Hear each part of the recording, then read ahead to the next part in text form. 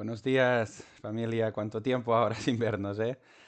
Nada, eh, muy feliz, muy feliz de... Se ha terminado el, Open, el primer Open Chess Menorca y la verdad es que ha sido un- una experiencia única e inolvidable. Realmente de un nivel extraordinario, un nivel muy, muy, muy alto. Cantidad de grandes maestros y qué menos hoy que enseñaros la partida del ganador, ¿no? Del gran Gukesh que se pegó un torneo espectacular y verlo jugar en directo es un auténtico lujo, placer y honor para nosotros como, como organización, ¿no? Bueno, también dar las gracias evidentemente a todo el equipo arbitral, a todo eh, el equipo de Chess Menorca, que ha trabajado de manera espectacular, al hotel donde estábamos alojados, que realmente han cuidado cualquier detalle. Y nada, y a todo el mundo, ¿no? Al Club del Cercle Artístico, siempre están atentos para ayudarnos en, en cualquier, en cualquier cosa que teníamos y montar, desmontar, que hay un trabajo también muy, muy, muy bestia en torneos así. Y bueno, y fue realmente como un sueño, ¿no? Era un sueño tras otro porque, por ejemplo, la retransmisión también la llevaban Leoncho García y Miguel Illescas y fue un auténtico lujo, do- dos auténticos cracks. A Miguel también ya lo conocía, trabajé 10 años para él en Barcelona y tuvimos la suerte de que estuvo aquí con nosotros, igual que el, gran Leoncho, ¿no? Periodista del país. Y dieron una difusión al torneo realmente muy, muy buena. Las- los comentarios de las partidas eran excelentes y los las entrevistas lo mismo y los jugadores estaban realmente eh, muy, muy contentos, ¿no? Bueno, simplemente agradecer a todos los jugadores que habéis venido, jugadores, acompañantes, espero que hayáis pasado cuatro días fabulosos en, en Menorca, cinco días. Y nada, y el año que viene esperemos que esto se repita, ¿no? Porque ya estamos pensando en la próxima edición, porque realmente ha sido un placer y no. Y queremos que esto sea a partir de ahora cada año. Y a vosotros os espero a muchos, ¿eh? Muchos de los que no habéis venido, pues os espero en la próxima edición. Bueno, vamos a analizar esta partida. Esta es la partida que hace a Gukesh campeón del primer Open Internacional Chess Menorca. Y, y además tuve la suerte de que después eh, Miguel le entrevistó, le hizo analizar la partida con una India de Rey contra el gran Adivan, otro jugador de la India durísimo. Pensad que en el torneo el- la gran, digamos, maquinaria de India se puso en marcha. Había Gukesh, Adivan, Nihal Sarin, eh, todo el mundo ahí jugando durísimos, ¿no? Eh, y, bueno, le seguían los armenios, grandísimo torneo de Miguel Santos, eh, del gran Jaime Santos, que fue el primer español. Jaime es un jugador increíble. Y bueno, estaba por aquí Pepe Cuenca, que fue un placer conocerle, un, auténtico lujo. eh, todo, todo el mundo, ¿no? Carlos Martínez, Álvaro Alonso, que, con el que tengo mucha amistad desde hace muchos años, Michael Rajal, o sea que estamos hablando de una nómina de jugadores y sobre todo de personas extraordinarias. Bueno, nos metemos ya en partida en esta India de Rey. Y con la variante principal, con este 5, después de enroque a Diván, juega una idea muy novedosa, supongo que para sorprender a su rival, H6. Bueno, Gukesh necesitaba la victoria, con Tablat seguramente no le hubiera bastado para ganar el campeonato, porque no era el que tenía mejores desempates. Y las mesas 2, 3, eh, los jugadores armenios, Martirosian, Sargisian, eh, estos jugadores pues hicieron tablas. Y aquí en lugar de jugar líneas más principales, conocidas por nosotros, ¿no? Como son caballo C6, jugar estas posiciones donde el blanco intentará meter B4, C5, el negro en cambio tirará más, tirará jugadas más tipo H6, quitará el caballo, tirará F5, ya conocemos estos planes, ¿no? Importante también siempre cuando tiramos F5 tener controlados los caballos G5 y caballo E6, porque pensad que con la India de Rey con el centro cerrado, el alfil importante es el alfil de C8, ¿vale? O sea que si nos meten una maniobra y nos lo obligan a cambiar, la cosa no va a ir bien. En cambio, como veremos en la partida, después de extra H6, torre E1 y dama E7, ¿no? No sé si habéis visto muchas india- indias de rey así con este orden. Yo nunca había visto una india de rey con este orden, H6, dama E7. Alfil f1 de Gukesh y aquí fijaros que toma ya en d4 y juega con este centro abierto. Yo sí había tomado, había visto tomar en d4 rápido, pero sin el h6 y jugando con caballo c6 muy rápido. Esos planes sí los conocía, ¿no? Y de hecho lo juega, pero no sé, estas dos jugadas, sobre todo h6 aporta el control de alfil g5 y principalmente eso evita que te vengan con problemas con caballo d5, ¿no? Bueno, aquí realmente Gukesh juega muy bien, juega F3, sólido. También existía caballo C2. Caballo C2 es una jugada muy natural porque muchas veces si te obligan a jugar B3 es fabuloso tener el caballo defendiendo en A1 porque fijaros que el alfil en la gran diagonal en cualquier momento te pegan un golpe táctico y estos golpes tácticos con el caballo en C2 nunca funcionan, ¿vale? O sea que primer cosa importante del caballo a C2 y la segunda es la ruta preciosa que puede ir hacia D5 vía E3. O sea que bueno, aquí tenemos diferentes opciones. Fijaros, jugó con F3, caballo por D4 y evidentemente siempre tenemos que tener controlado, por ejemplo, esto con un alfil en E3, Gukesh no lo hace ni loco, ¿no? Porque le meten caballo G4, le ganan el alfil de casillas negras y hasta luego, Lucas, ¿no? Y te quedas tieso en plena apertura.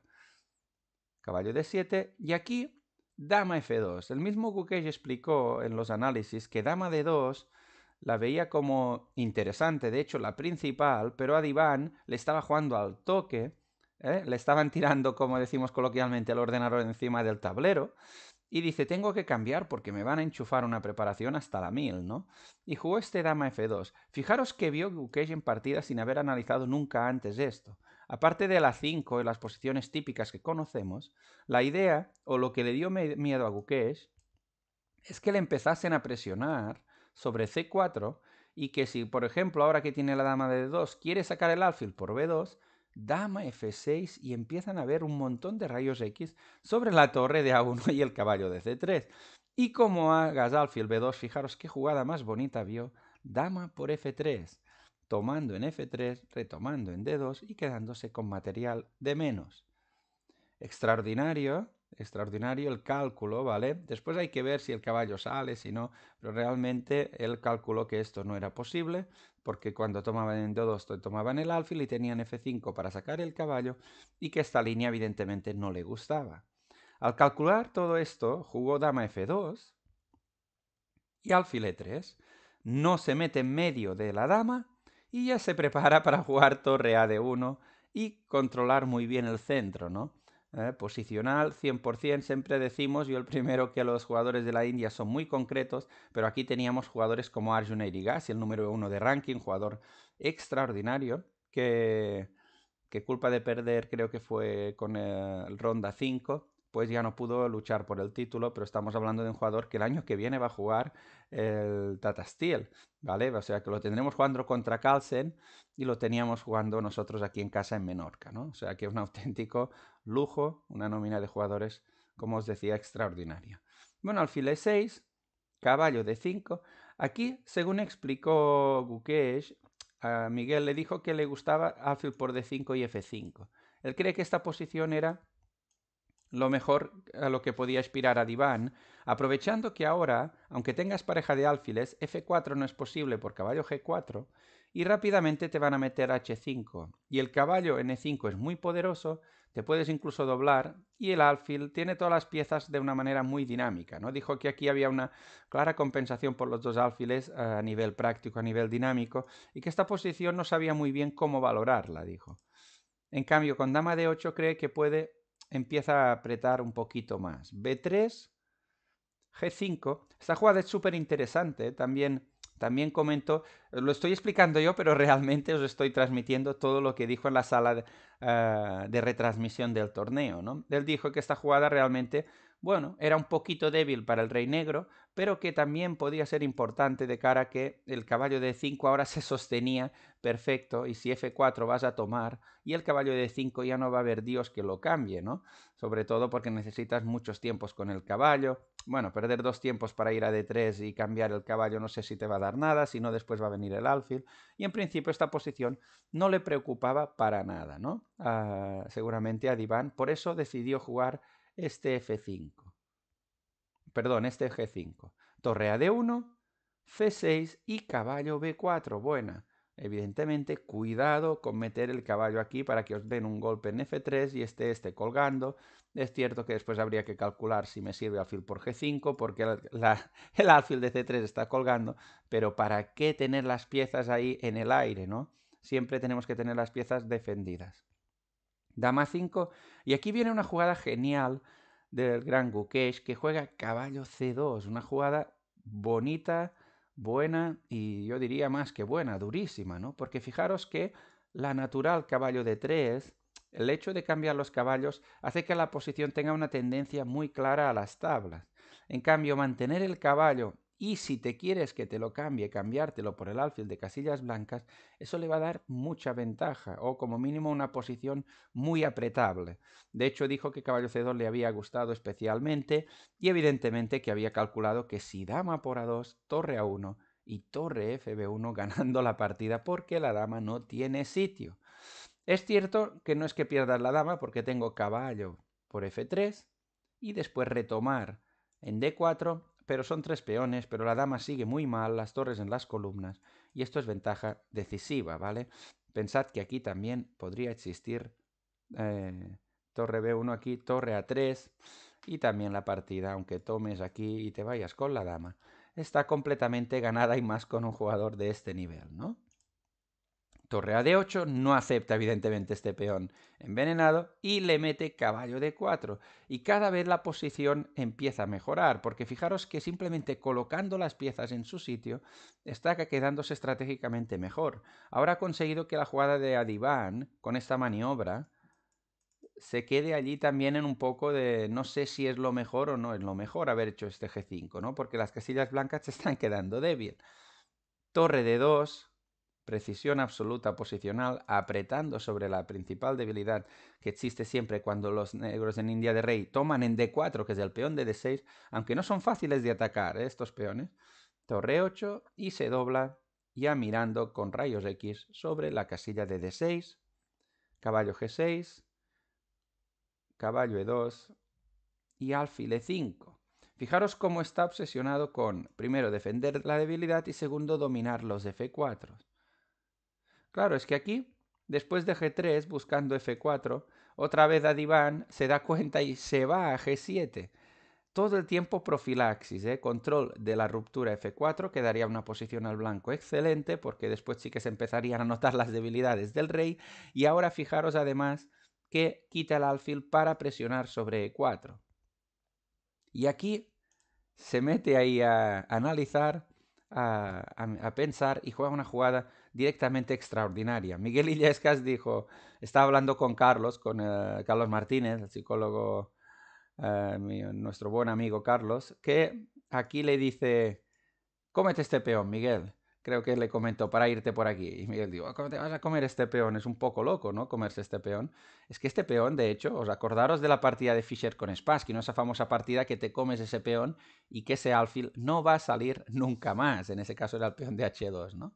Pues aquí sí, se comió el peón porque calculó todo, lo vio todo. Y digo todo porque cuando explicaba los análisis en la sala de, eh, retransmisión era un escándalo, como había visto variantes de 10, 15 jugadas posterior, ¿vale? Un auténtico lujo, una, bueno, una cosa alucinante ver cómo calculaba, ¿no? Fijaros que evidentemente a Diván rápidamente le cierra el alfil, pero se da cuenta que no le están encerrando, va a salir este alfil por la presión sobre D6 y caballo E5. Aquí, después de comerse este peón, seguramente aquí la única jugada que complicaba muchísimo era jugar eh, con G4. Esta jugada sí que realmente eh, era bastante, bueno, bastante lío porque tienes que dar el alfil de casillas blancas, pero bueno, Gukesh comprendió y además de manera acertada que esto era ventaja blanca a pesar de ceder la pareja de alfiles porque estamos con un par de peones. Además, la debilidad de las casillas blancas no se va a notar y incluso quién sabe, ¿no? Pero es que este rey con maniobras como caballo F4, caballo H5, tiene más pinta que va a sufrir el rey negro que el blanco. Pero claro, es que a Diván el peón de A7 evidentemente que lo vio, que se lo podía comer. También vio alfil B8. Lo que se dejó a Diván, que sí calculó mejor uh, Gukesh, es que después de alfil F8, que era la jugada con la que él confiaba, fijaros los rayos X ahí, la clavada sobre la pieza de dedos, sobre la torre, pero no vio que le podían comer y todas las líneas estaban controladas. Esta seguramente es la jugada que se le escapó, o incluso más que esta, ahora veréis, porque con torre por D2, alfil C3. Y tal vez especuló en que torre por D1 era posible, alfil por dama y alfil H3. Fijaros, cómo, cómo, y vengo aquí, y ahora resulta que tiene este alfil E1 mágico que gana la partida, ¿no? Estaba muy, muy orgulloso de haber calculado todo esto tan preciso cuando se tomó el peón de A7. Y realmente es que la precisión es brutal, ¿no? Y la otra que hay aquí también es que si comes, fijaros que este final realmente ya es mucho más fácil, porque aunque tengas un alfil muy potente, porque he perdido el alfil de casillas negras, el caballo lo va a sostener.